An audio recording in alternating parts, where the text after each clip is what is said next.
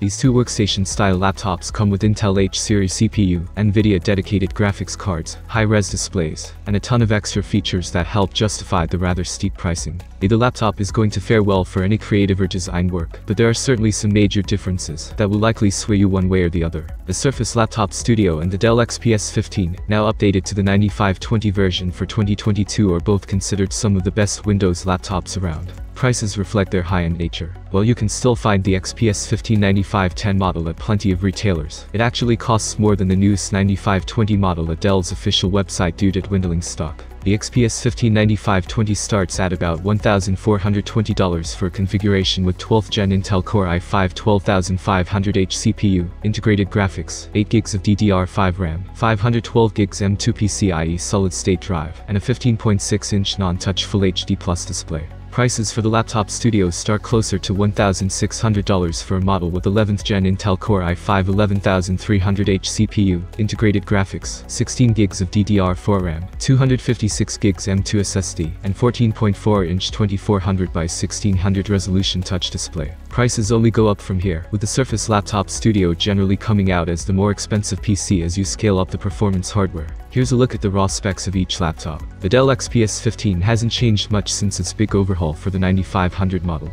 The latest 9520 model has carried forward the svelte aluminum build that looks more like a 13-inch than a 15-inch laptop. It's not particularly light due to the all-metal build, but it feels solid no matter how you hold it. The XPS 15 is a non-convertible notebook, meaning it can't rotate or fold down like the laptop studio. The laptop studio has a far more distinct look and overall design. It has a pull-it-forward display that can be used in the regular notebook mode for when you need full productivity typing, stage mode for watching movies or conference calls, and studio mode where it lies nearly flat against the keyboard for easy drawing. The XPS 15 keyboard has large keycaps and decent key travel for a comfortable typing experience, and the touchpad is massive for easier pointing. Flanking each side of the keyboard is a top-firing speaker, joined by down-firing speakers on either side of the bottom of the laptop. The quad audio setup is certainly impressive, but the Surface Studio isn't far behind with its own quad speaker setup. It could use a bit more bass, but it is certainly loud, and Dolby Atmos adds spatial abilities. The laptop studio keyboard is also excellent, and the touchpad is likely the best you're going to find on any Windows PC.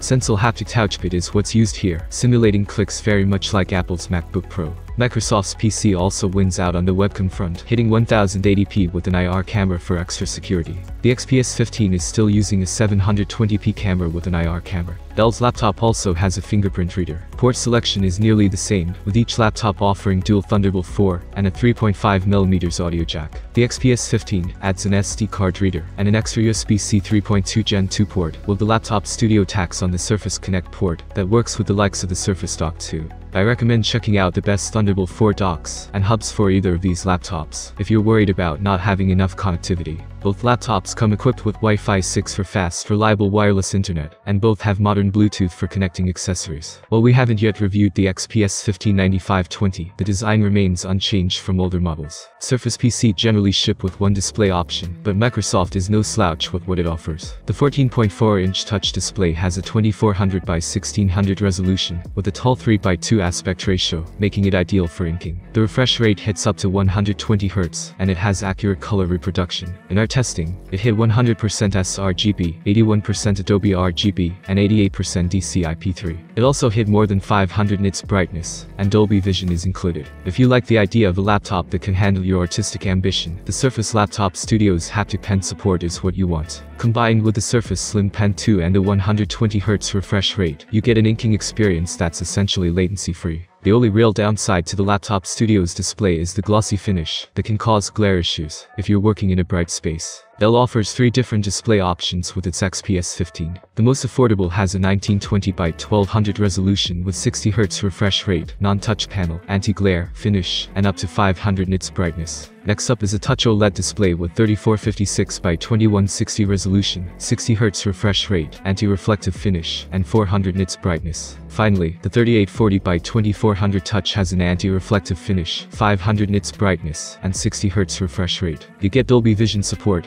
as well as HDR to boost supported content. There's no inking support despite some of these being touch panels. For that you'll have to stick with the laptop studio. I wrote a separate article explaining in a lot more depth the differences between the XPS 15 display options if you need more information before buying. The XPS 15 recent update to the 9520 version brought Intel's 12th Gen H series mobile CPU and DDR5 RAM. This undoubtedly gives it an edge over the Surface Laptop Studio, which is still using 11th Gen Intel chips and LPDDR4X RAM. The Surface also tops out at a Core i7, whereas the XPS 15 goes up to Core i9. The XPS 15 comes with up to 64 gigs of RAM from the factory, while the Surface comes with up to 32 gigs. Both laptops are available with integrated or discrete graphics. Choose from either an NVIDIA RTX 3050 or RTX 3050 Ti laptop GPU for the XPS 15 or an RTX 3050 Ti for the laptop studio. This extra hardware provides a nice boost for some specialized tasks, and both laptops will handle some light gaming. Just don't buy either one for a dedicated gaming laptop. You can check out our roundup of the best gaming laptops for far better candidates. Overall, the XPS 15 is going to offer better performance due to the newer CPU options and faster RAM. Battery life should be better in the laptop studio, though your workload and display options will mix things up. Thank you for watching this video. I appreciate every comment from you. Subscribe to the channel. See you soon.